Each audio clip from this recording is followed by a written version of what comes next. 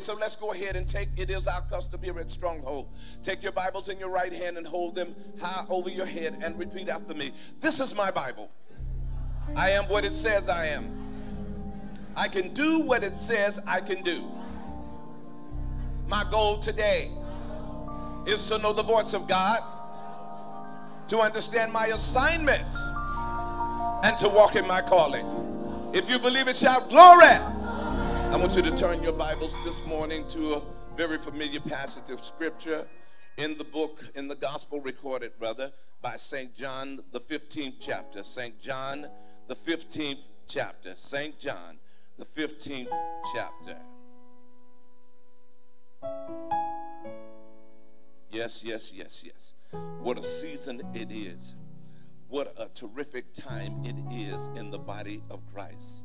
We do know and we have been taught that this battle is not ours, but it is the Lord's. So, Christians, uh, family members, let me say this to you. This is the season for change to take place. And I'm talking to people right now who I believe that have the heart of God, who understand the plan and the purpose of God, who have come to this sanctuary and who have tuned in to us week after week after week and praying for a move of God. And church, listen, here's the amazing thing to me, and I, am going to get there. I've noticed in the world that everybody is doing their thing. The Braves played the other night and they had standing room only. The Hawks played, and they were selling tickets just for standing room only. The restaurants are full of people, with people waiting outside to get in. Family, listen to me. You cannot eat with a mask on your face. Stay with me, family. Every place I have gone, I have just driven down the roads and just to see what's available. Walmart, uh, uh, uh, Targets, all of Ross, and all of the other things that we go to are packed. But when it comes down to the only place that has power, I'm confused. I ain't talking about nobody, but I'm confused that nobody comes to church or people don't come to church, but we'll go to work tomorrow morning, sit next to somebody, bump fists with somebody, do whatever, but yet still we won't come to church. My brothers and my sisters, please hear me. The word of the Lord says to fail not to assemble yourselves together with believers. That is not an option, that is a command. I'm talking to people this morning who are sold out on Jesus. I'm not talking about people who are going out on a date with him. I'm talking about people who are in a relationship with him and who know that the importance and that strength comes to those who are younger in the Lord than we are from our presence and our prayers and our ability to move forward in the let me go ahead and, and, uh, and preach this message Ah, yes. John chapter 15, beginning at verse number 15. John chapter 15, verse 15, it says, No longer do I call you servants, for a servant does not know what his master is doing, but I call you friends. For all things that I heard from my Father I have made known to you. Did, did, can I read this one more time? I no longer do call you servants, for a servant does not know what his master is doing, but I call you friends. For all things that I heard from my Father, I have made known to you. You did not choose me, but I chose you and appointed you that you should go and bear fruit, and that your fruit should remain that whatever, gets this, whatever you ask the Father in my name, he will do it. Verse 17. These things, I want you to catch this. You miss this, you'll miss everything. These things I command you that you love one another. For the sake of the title to this message this morning, I, I want you to take notes. I want you to do whatever you need to do. I want to minister to you from this thought. This is the season for growth. This is the season for growth. Would you look at the person standing next to you and ask them this question Do you have the power? And have you been given the power to go to the next level? Wait on an answer, wait on an answer, wait on an answer, wait on an answer. All right, you may be seated in the presence of the Lord. If you got it, I want you to say amen. Listen, family, I'm going to need you to take some notes this morning because the whole purpose of any message is that we not just keep this message to ourselves, but it is important that we are in a position where we can share the message with those who are in our immediate circle. The reason being is because we have a level of influence over those people. May I suggest to you, God did not save you just so that you could go to heaven. He saved you so that you could be a witness to the world of the kingdom of God. So, family, this morning, I really need you to pay close attention to what I'm about to say because we are on an assignment, and God has given His church he has given his church the opportunity to complete the work that we have been called to do. Please hear me. We have been trained. We have been going to Bible study for years now. My question is because we've been going to Bible study, when are we going to take the test?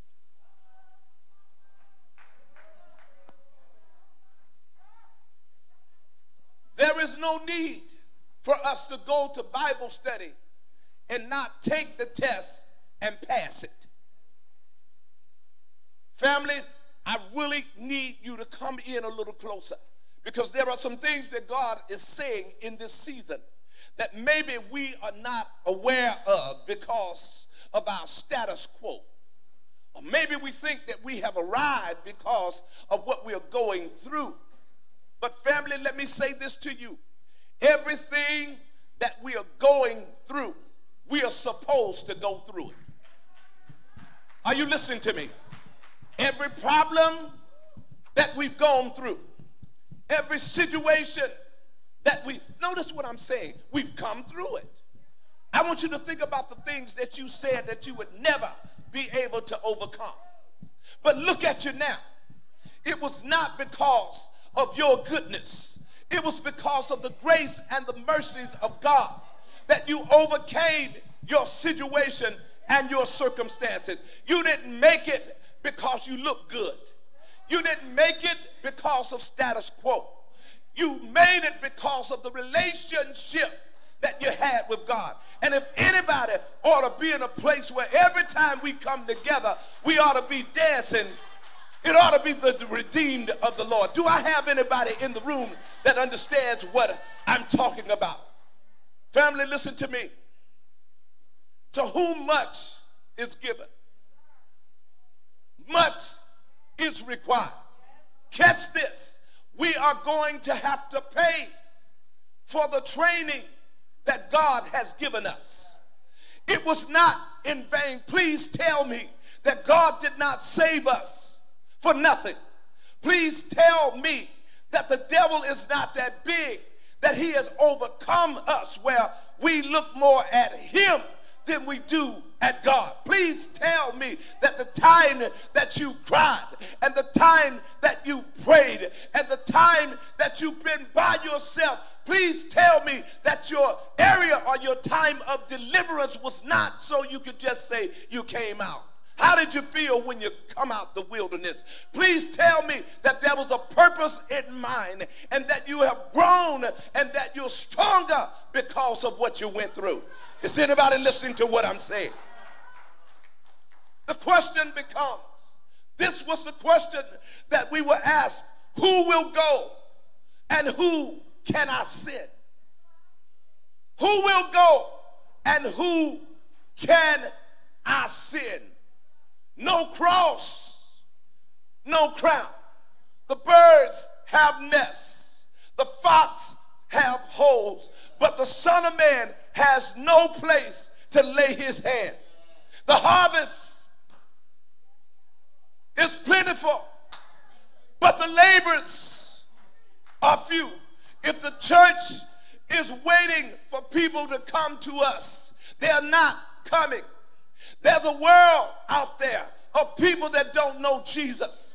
And it's our responsibility to go out and to share the good news of Jesus Christ. He died, but he didn't stay dead. He rose, and when he rose, he rose with all power. And because he had power, he transferred the power to those of us who are called the sons and the daughters of the Most High God. Is anybody listening to me? The word of the Lord says, work while it's day. Why? Because the night is coming, family. Listen, I believe it was Job who said, a man that was born of a woman is only but a few days.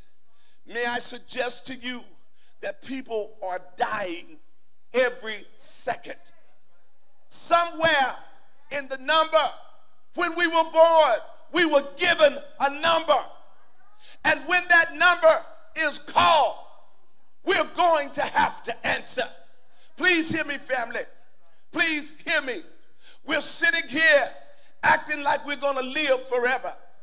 But may I suggest to you, what if? What if your number is called today? What would the Lord be able to say about you? What would you be able to say when they call the roll? Will there be anybody in heaven because of you? Will there be anybody that says, the reason that I'm here is because you shared the good news of Jesus Christ? Or will it be that I made it and I made it and I made it and I made it? That is not why we were called. Family, if you don't get anything else from me, I want you to get this today because the word of the Lord is forever present and he watches over his word to perform it. May I suggest to you that God may be tired of us. How many times does he have to come and tell us the same story over and over again. How many times does he have to deliver us before we are delivered? Somebody stay in the room with me. Where are you going? Because that has nothing to do with the text. Well, I'm glad that you asked me about the text. Are you ready for the text? Let's go to verse 15. Jesus said, No longer do I call you servants. I need you to, if your Bible is not too holy, can you put a line under that word servant? For a servant does not, here's the description a servant does not know what his master is doing. Let that resonate in your hearts just for a moment. I want you to be able to walk out of here and teach this one. But I have called you friend. Well, how did we get to that place? Everybody starts as a servant. We come into the room and accepting Jesus as Lord and Savior. I'm going to give you a definition for both. So just hold on for a minute. But he says, for all things, look at this. I'm still in verse 15. For all things that I heard from my Father, I have made known to you. In other words, what he's saying is everything that the Father said to me, I not only told you about it, but I demonstrated. I walked with you. We went through the Jesus principle. You watched me do. You did with me, and I release you to do it. Remember when the disciples went out and he sent them out two by two, and it was 70, and demons, they came back with the saying, and Lord, demons are even subject to your name. Wow. Peter, James, and John on the mountain of transfiguration says to him, Lord, it was good for us to be here. How many miracles have God performed in your life? And there was a while behind the miracle. You came out of stuff that you were not supposed to come out of. The doctor said and gave you an evil report, and yet, still in the midst of the evil report, God came in and said, I'm a doctor that has never lost a case. The devil had you numbered. Death was in your room, and God said, Not today.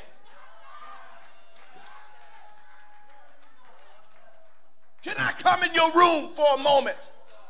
And we're sitting here in the house of God, acting like God owes us something. My brothers and my sisters, let me tell you this God does not owe us anything.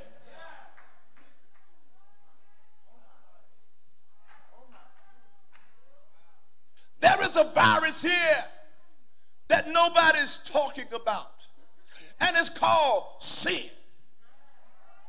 Nobody's wearing a mask for sin because we don't want nobody to know about sin. But may I suggest to you, my brothers and my sisters, when you desert God, it's called sin. When you turn your back on the word of God, when we refuse to live God's word, can, can, can, can, I, can I walk in here? Will y'all stay with me just for a moment? Because I was amazed because Jesus told his disciples that you're no longer servants, but I consider you to be friends. There is that outer court relationship. When we pray, we pray, or when we praise, or when we praise, it's just praise. It's outer court stuff. You don't even have to be saved to be in the outer court because it's where all of the junk is in the outer court. Can I talk to you for a moment? Because I think that we get it mixed up sometimes. When we're feeling good, may I suggest to you that the Spirit of God has nothing to do with how you feel. How is it that you can feel good in church and walk out the building and cuss somebody and still feel good? Somebody come on in the room because there's something that God is trying to get us to see. I called you into my inner court for a particular reason. Now, this text is not talking about salvation, he's talking about fruit remaining. So, he's talking to people who are already there, not people who are trying to get there. Look at the text. Look at the text. He's not talking to new believers. He's talking to people who are rooted and grounded in the things of God. People that have problems. Wait a minute. What do you mean they have problems? Did you not read the text where he said, I chose you?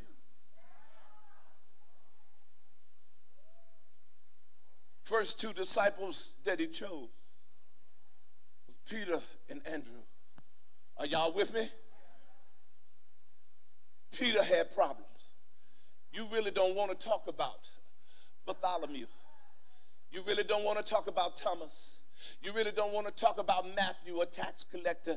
And you sure don't want to talk about Peter at all. Can we talk? You don't want to talk about James and John, who tried to get their mother to go in to Jesus because he was a single man and asked the question, ah, when you get in with him and you seduce him, would you ask him if, my, if I can sit on his right hand and my brother?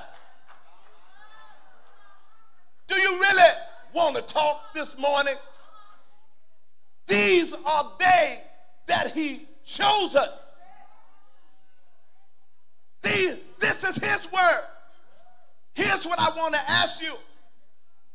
Have you been chosen by God?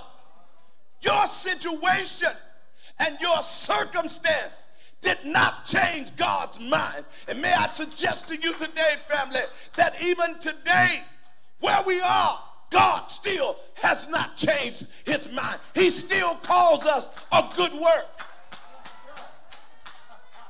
Jennifer, he calls us a good work. We're messed up, but he says that we are good work. He chose us. We didn't chose, choose him. I was on my way to hell on a skateboard. And all of a sudden, he knocked me off the skateboard. Wasn't nobody thinking about no Jesus. And if the truth were to be told, you were not thinking about him either. But we came to Jesus just as we were. Weary, wounded, and sad, found in him a resting place. And we're halfway in and we're halfway out, but we're still here. We call him a shepherd. We call him that the person who walks with us through valleys of shadows of death. But when it comes time for us to stand up for him, we are silent. My family, I have a problem with this because this text does not make sense with him pouring his heart out. The difference between a servant and a friend. Is when he talks about a servant. Here's what he talks about. A servant does his duty because he or she are required to do so. Stay with me. A servant has no relationship with his master. The master has no relationship with the servant. Let me break it down to you. On your job, you have a supervisor. As a workman, when you first come, you have no relationship with that supervisor. He or she tells you what to do, what time to report to work, when you take your lunch break, when you take your first break, and if you're late for that, you have problems. There is no relationship with that person because you're just there for the paycheck. I need some help in this Presbyterian church because here's what happens on our jobs. We miss what God has for us. The reason that he places us on the jobs that we're on is so that we can bring him glory. It is not there to make money. How is it that every Friday when we get paid, we're upset? We couldn't wait to Friday, but we're upset and start growling when we see how much they've taken out on us. And every time we do overtime, we get mad because they take more. Can I talk to the real church for a moment?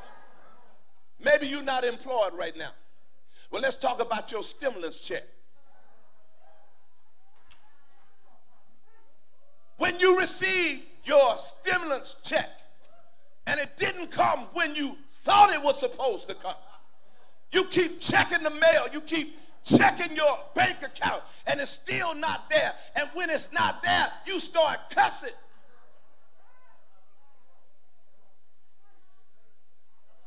Come on in the room. And then finally, when it gets there, it takes you 15 minutes to spend it, and you've been cussing for two weeks.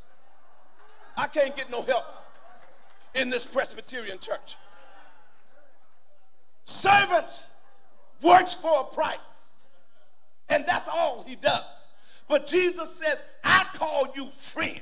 And so, what he really wants us to understand is you're still a servant, but you're now a friend, and you're brought into the inner court where there is a relationship And relationship says that I don't do it because I have to. I do it because I love you. Come on, somebody. Come on in the room. Is anybody hearing what I'm saying? I do it because I love you, God. I realize that you don't have to do nothing for me. If you don't do nothing else, you've already done more than what I ever expected. Do you know the miracle? The miracle is when we wake up every morning. Do you know how many people that lay down that don't wake up the next morning? And here we are, sometimes we forget to tell God, thank you. We'll look at our cell phones before we tell him thank. Can I talk to somebody in this Presbyterian church? Because here's what he says I call you friend. But here's what he says I have chosen you with all of your mess. Well, here's what I don't understand. Chuck, please help me unpack this. What does it mean when he says to me, I've been through storms, I've been through rain, I've seen the hot days when the sun was beating down and I couldn't hardly breathe. And he says to me, I called you a friend. And what I'm doing right now is I'm establishing things in you so that take your fruit may remain. I'm, I'm, I'm confused here. Are you saying that the trouble that we've been through is the very thing that was necessary for fruit to remain? Eh, eh, Could it be that he's telling us that what does not kill you will take you to the next level. But the thing that I'm looking at is where are we as a people this morning? Do we understand the reason that we're going through? I don't need this to preach to you this morning, but here's what I'm hearing in my heart. Where are we? I'm praying that your fruit remain. Your fruit means that you have already produced the harvest. But in order for it to remain, you've got to go to the next level. And the things that I have given you, Patsy, the things that I have given you are the very things that are necessary to cause the fruit that's on the inside of you to remain. If you don't go through, the fruit that's there will die because it has not been watered today. So, what are you saying to me? The fruit is being watered with more trial, with more pain, with more suffering. I have never seen a people that's afraid of pain the way the body of Christ is. And the way of life is in one of three facets. You're either in a storm, just came out, or about to go in. The good thing is that God will receive our praise and our worship. The key out of the storm is worship Him when there's nothing to worship Him with. If I couldn't say a word, I would just raise my hand. Is anybody listening to what I'm saying? Your pain is the premise for you going to the next level. I know nobody wants to go through anything, but Jesus bared a cross and went to Calvary. He who knew no sin became sin that we might become the righteousness of God. The reason that he calls us friends is because of Calvary. Stay with me, family. So he calls us friend. But in the text, it says something else. Did God know what we were going to do? Yes. Isn't it amazing that in Jeremiah 1 5 he says that before you were conceived in your mother's womb, I knew you, called you, ordained you, and told you these words Be not afraid of their faces. Moses, a murderer, I called you to lead the children of Israel out of bondage. Gideon, a coward, but he put bravery behind him. I need you to go down and deal with the enemy. David, a little boy, with a slingshot and a rock. Nehemiah builds a wall in a short period of time. Something that would have taken three to four years to build, he built it in six months. No. The oldest Bible, oldest book in the Bible, asks the question if a man die,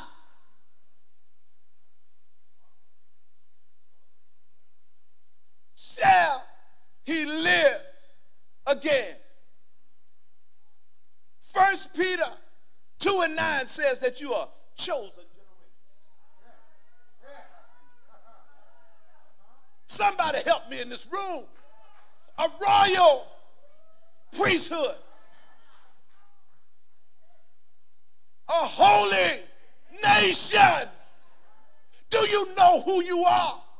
The devil is afraid of you because if you ever wake up out of the coma, the coronavirus ever turns you or the sin virus ever turns you loose, and you open your spiritual eyes, here's what you'll see there are more with us than with them. I'm preaching to somebody in the room this morning. Here's what God said in the conclusion of that text. He said something to them that blew my mind. And it almost seems as if, as if it is an oxymoron two conflicting statements because one has nothing to do with the other. In verse 17, he says something that contradicts verse 16 and 15. He says this, but I give you, I command you to love one another. Wait a minute. Wait a minute. I'm confused. When your fruit remains, and it brings forth more fruit. It has to be because of your love for those who are fruitless. The problem is, I keep telling you, there's more to the Holy Spirit than Pentecostal Sunday. The tongues was an outward sign of an inward manifestation it was the love of God that was demonstrated on that day. And because love lifted them, then 3,000 souls got saved because of love, not because of words. May I suggest to you, church, if we're going to be the church of the living God, the only reason that the fruit must remain is so that we can mature people in the things of God, so that we can move the kingdom of God to the next level. Now, I don't know who I'm preaching to. I didn't say that your message is to stand in the pulpit and preach. But whatever ministry you have, before you cuss them out, how about showing them some love?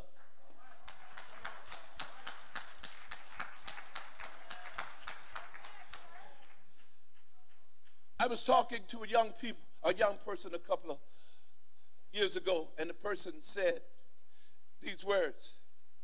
If y'all do one another like y'all do, I don't even want to go to church. And the young person said this to me. Me and God okay. I'm okay where I am. Because the example was not set by those who say that they have been called out. Can I ask you a question? When we get through preaching, when we get through singing and praying, because see what's amazing in this text that I didn't deal with, God will not accept prayers until love exists. Read the text.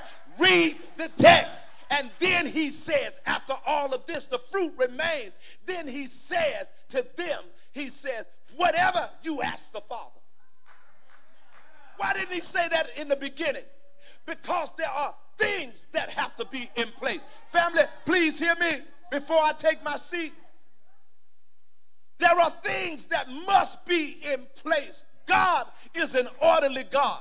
He does everything in decency and in order. And when it's not God's order, then what God does is he backs up. Have you noticed in this season that there is no word from God? It almost seems as if we are between Malachi and Matthew all over again. Years of silence where there is no word. The major evangelists have nothing to say. People are covering their heads because they don't want to catch nothing. But here's the bottom line the same folk who are covering their head are out at ball games. They're in the restaurants. But these are the leaders. But God says in this season, I'll pull one up and I'll take one down. And I'll show you who's all about me. If I'm afraid to lose my life, then I'm going to lose it anyway. Family, listen to me. This way is not an easy way. What I'm saying to you this morning is something that has to be demonstrated among all of us. You want to see the move of God? Notice when prayer is accepted, when we do what God has called us to do. This morning, this message didn't make you jump up and down. It didn't make you run around the building, but it was the word of God that is sharper than a two-edged sword. Because the whole thing about ministry is this. If we cannot become doers of the word, then the word is no good to us. That means that it goes over our head and we are not who we say we are. But family, this morning, here's what I'm doing. I'm trying to pull all of us in because all of us have missed it. All of us have thought something, and all of us have said something, and all of us have done things that are contrary to the Word of God. But the main thing that I want to get across to you is that God chose us, and He still calls you friend.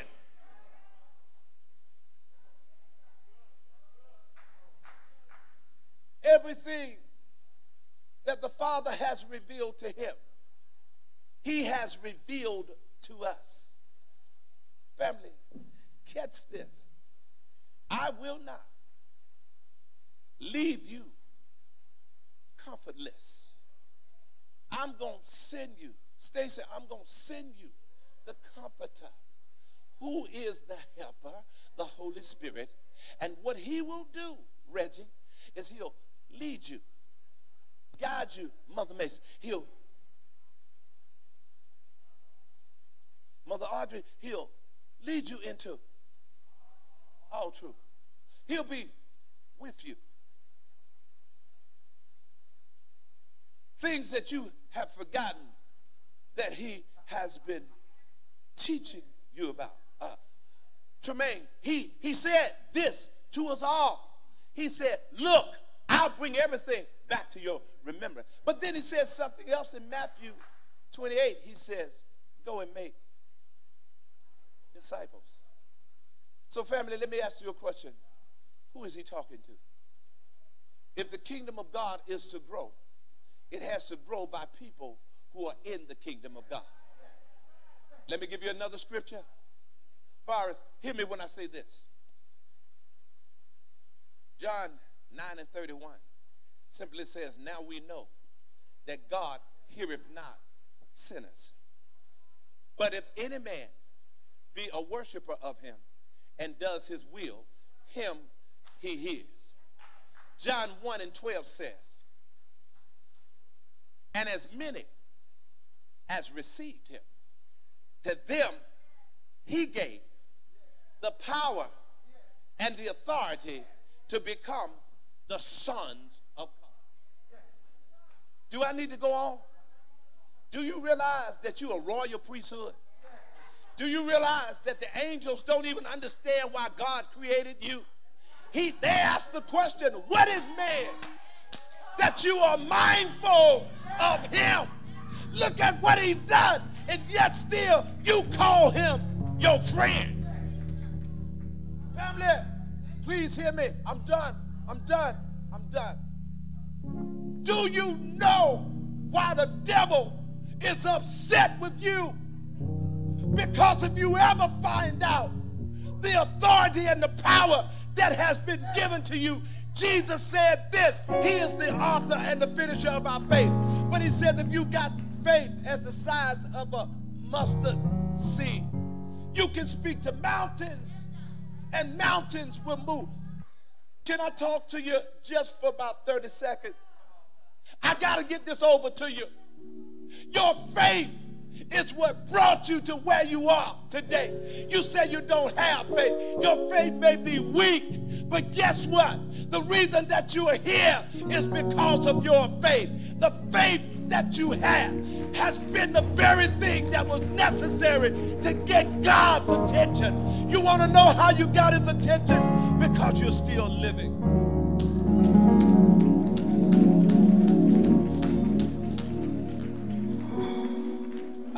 Minister to a couple of people this morning that are in this room.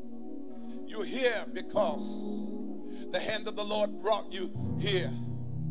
It's time out for us staying stagnant. We all got a different idiosyncrasies. We all have things that we don't like, things that we don't want to do. But can I say this to you? It is a command that we have been given by God that we are to love. And it does not mean that we just phileo you. That's the problem. Minister Inez, they missed this. We were looking at when Jesus asked Peter, Brian Tina, here's what they were asking. Jesus was asking him, Peter, do you agape me? And Peter was saying, Yeah, Lord, I phileo you. Jesus said, Peter, do you agape me? He said to him, Yes, Lord, I phileo you. Peter, do you love finally got the message. Lord, you know all things. You know all things. Did you know where he wanted to get him? Right where he was broken. This is the same man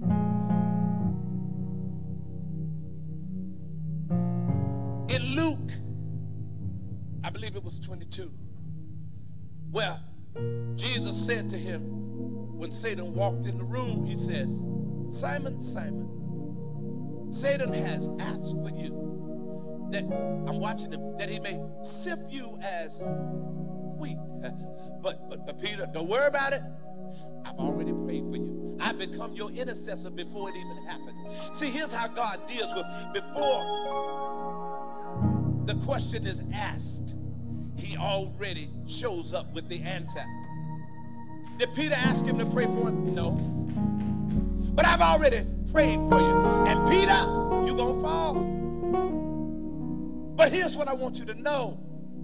When you are converted, Tina, here's what I want you to do. Share this mess that you came through with somebody else. The reason that people don't share their testimonies is because they have not been delivered from their mess yet. But when you've been delivered, you can tell folks where you've been. Hey, let me tell you, I walk with a limp.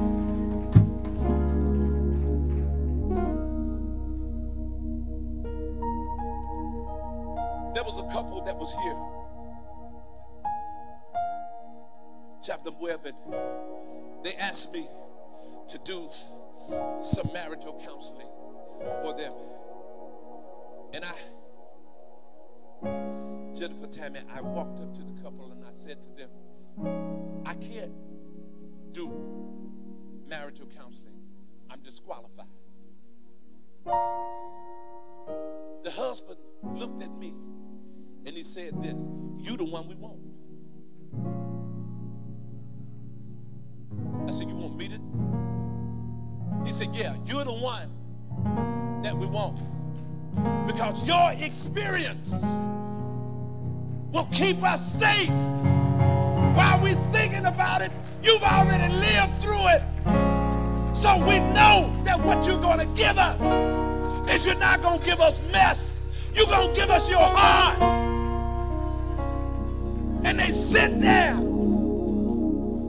And I said to God, you still can use somebody like me. And can I tell you what he said? I have called you friend.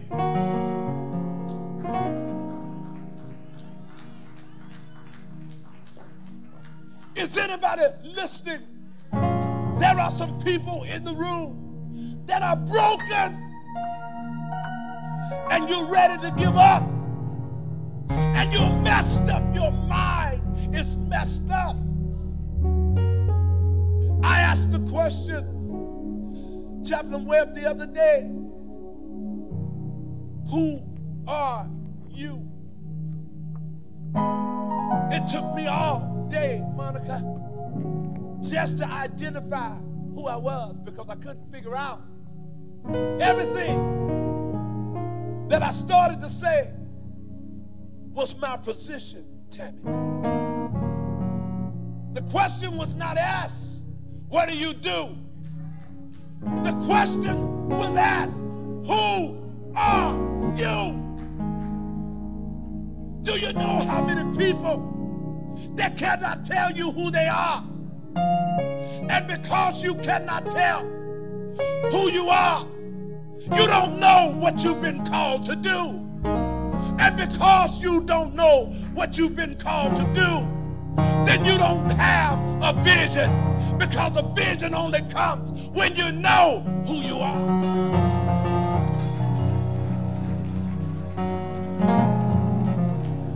I'm talking to some people in this room, and I know you're asking yourself the question. And if it took me all day, I just had to sit down and ask myself the question. And everything I wrote down, Brad, it wasn't me. It was my position.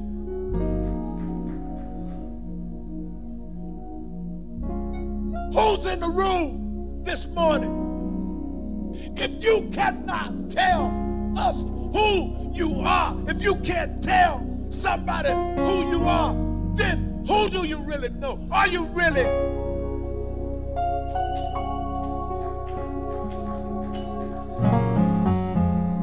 most embarrassing thing in life is to live your entire life and not know who you are or what you were created to do. Do you know that there are people that die, spend their whole life following a dream of somebody else? And when you ask them, tell me about your dream, you can't dream until you can identify who you are. I'm talking to somebody in this room that's been broken. And everything that you have been broken with is the thing that was necessary to bring you in so that you can identify who you are. You got wounds, scars, mistakes that you made, and yet still the hand of God is still on your life.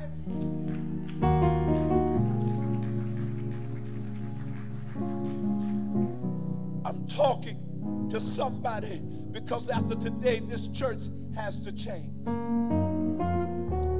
We cannot go a step further. If we do, I'm ready to close the doors because I don't want to be any place where the Spirit of the Lord is. It's not. If His presence is not here, I ain't got no business being here. But I'm talking to people who love God. But somehow in the process, you got lost. But the Word of God is here to find us and to bring us back.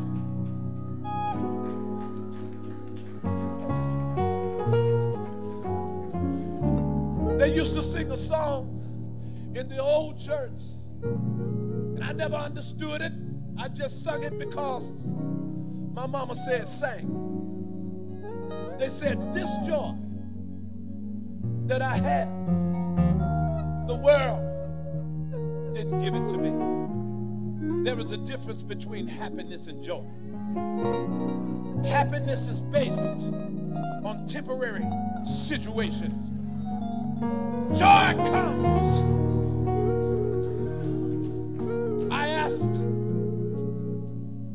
A person, Tammy, this question a couple of years ago. Are you happy where you are and with who you're with? And the person said, Yes. I turned around and walked out. Because the difference is happiness is based on what you see, joy is based upon the weight of what God brings. May I suggest to you, if you're broken this morning, I, I promise you, you're not going to catch nothing.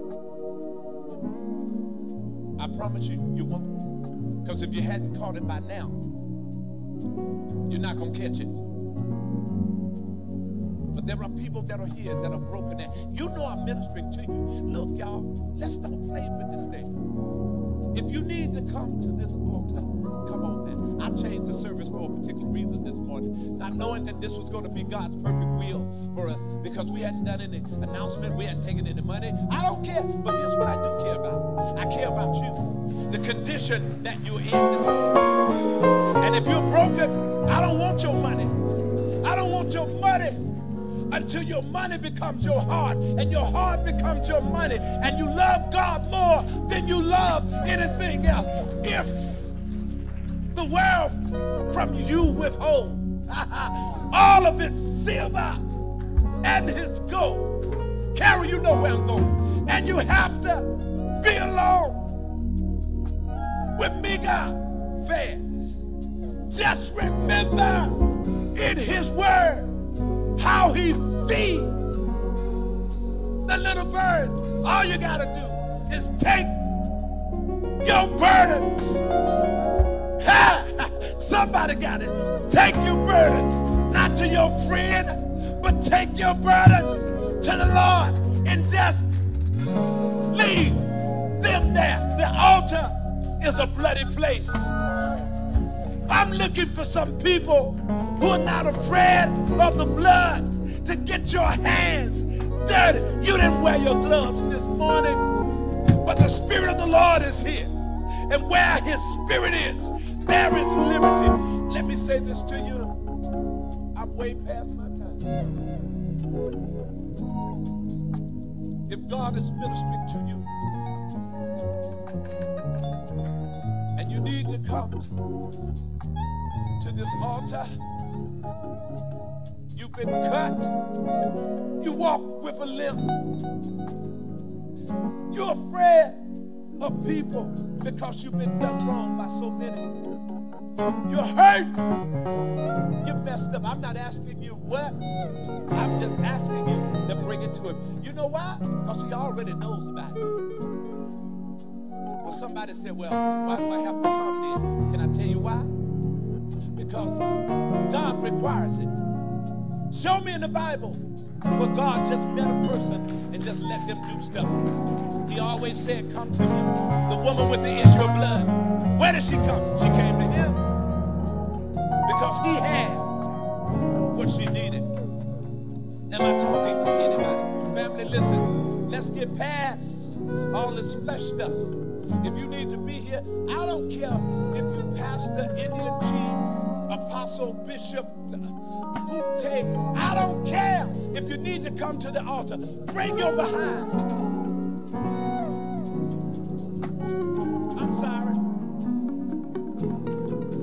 But when it comes down to people get things together, the music ministry is coming back together listen to me, family, today your life don't change. You went through what you had to go through to get you to this altar. Isn't it amazing that God loved you enough to get you to this altar and you're here? And I promise you this, today is going to be the first day of the rest of your life. Day, hey, of the rest of your life. I feel something happening at this altar. And it's not just the regular people coming, but you came because you love God. You came because you love God. Look, I may be acting crazy, but let me tell you, I'm so excited about you because I know what's going to happen because you came.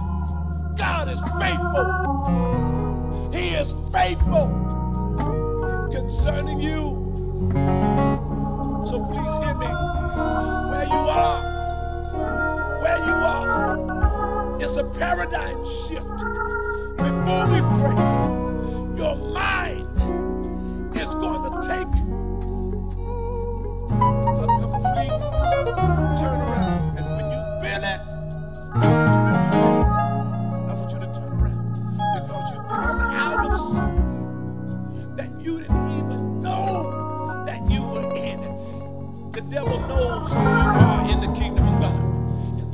This? His main objective is to take you out before you can complete your assignment so that when you stand before God, you you have a well what happened was God says you do know that there are three judgments that we're going to have to deal with. Hopefully, you won't be at the white throne judgment. Because when the white throne judgment, if we're standing there, then here's what happens. Saints and God begin to judge people. And when that happens, that is the final judgment. You better look at Revelation. Because guess what, y'all? We're living in it right now. The war of Armageddon is coming our way. And if you take the SP off the spoils, what do you have? What do you have? What's the number one thing we're dealing with right now?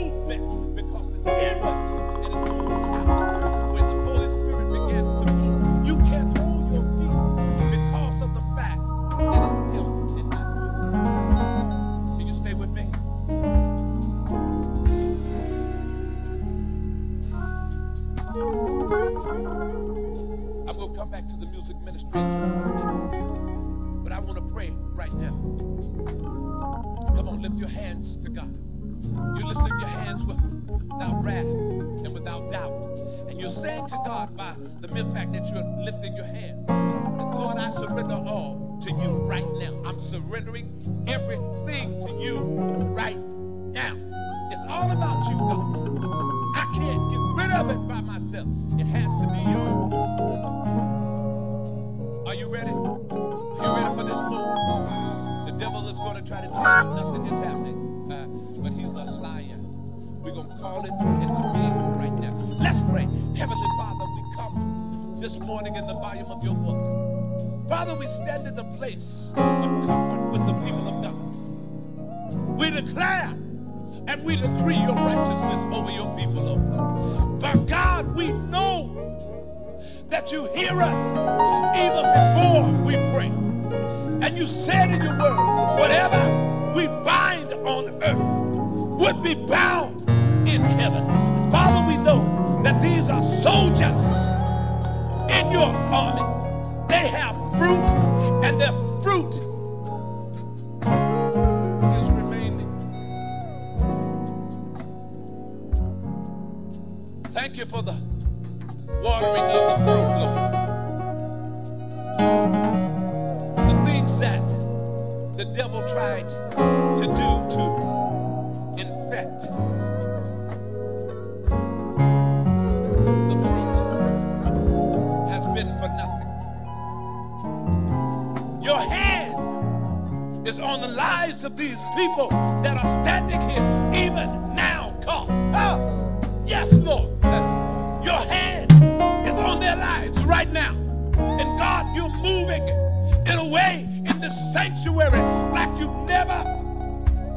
这。